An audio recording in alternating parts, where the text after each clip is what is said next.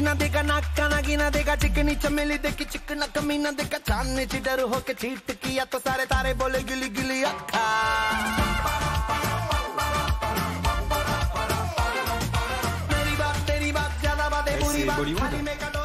Vous ne pouvez pas savoir, Sarah, comme vous me faites plaisir ce matin, c'est un véritable cadeau. Euh, de votre part que d'être allé euh, au musée d'art moderne de Saint-Étienne. Alors là, parce que c'est celui que j'apprécie sans doute le plus au cœur de notre euh, hexagone. Saint-Étienne qui fête ses 30 ans. Mais oui, ce musée, c'était pour un anniversaire. ouais. J'étais invitée à l'anniversaire, c'est pour ça.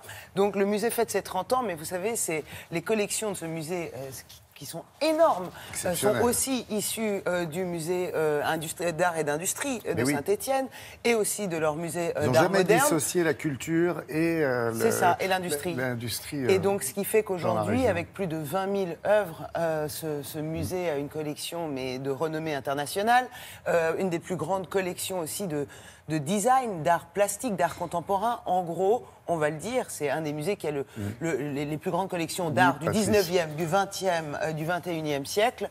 Et donc, et on voit à travers ces collections-là le, le- le glissement, l'évolution de l'art, comment de l'art moderne, on, part à- on passe à l'art contemporain. Et puis, alors, pour fêter ça, on va inviter Ah oui, Anish Kapoor. Bah oui. Anish Kapoor, c'est-à-dire que vous voyez un peu la star euh, de, de- de l'art contemporain euh, et de la sculpture que ce, monsieur blanche, représente.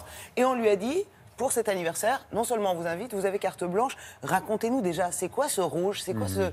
Est-ce que c'est l'Inde? Il dit pas vie. du tout. C'est l'âme, c'est le cœur, c'est le corps. On l'écoute parce qu'on l'a rencontré. Regardez.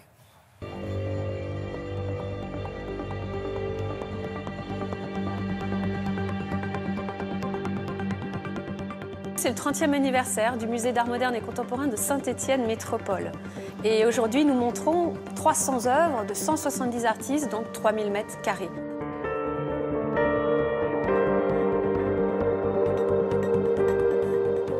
On peut aussi bien aborder l'industrie, par exemple, que le narrative art, qui est un art qui raconte des histoires et des histoires personnelles.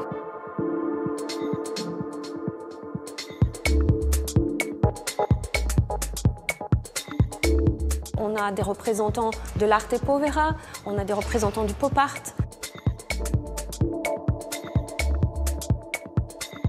Ça permet de montrer cette immensité et d'amener le public qui s'intéresse à l'art moderne progressivement vers l'art contemporain et d'ailleurs aussi de faire des passerelles entre l'art ancien et l'art d'aujourd'hui.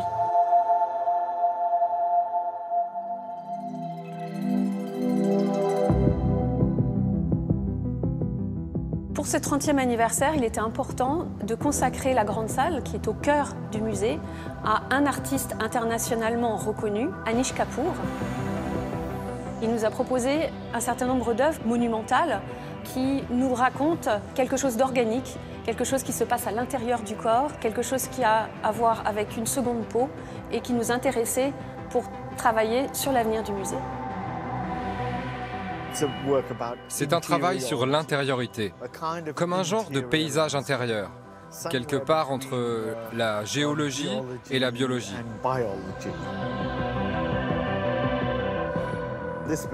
Ce matériau, c'est de la cire. Il y en a environ 20 tonnes ici. C'est une référence évidente au sang et à la viande. Le bras de la machine tourne tout simplement comme ceci, indéfiniment. Il ne se passe rien de plus. Ce mouvement circulaire possède une sorte de pouvoir méditatif. Ce miroir reflète le monde à l'envers. Cela procure un véritable vertige physique, comme si vous alliez tomber dedans. C'est ce que je recherche dans la plupart des œuvres réunies ici, ce sentiment de pouvoir plonger à l'intérieur. Elle rappelle le corps humain parce que nous avons tous un corps. Mais ce corps ne nous définit pas. Nous sommes plus que ça. Nous possédons un monde intérieur.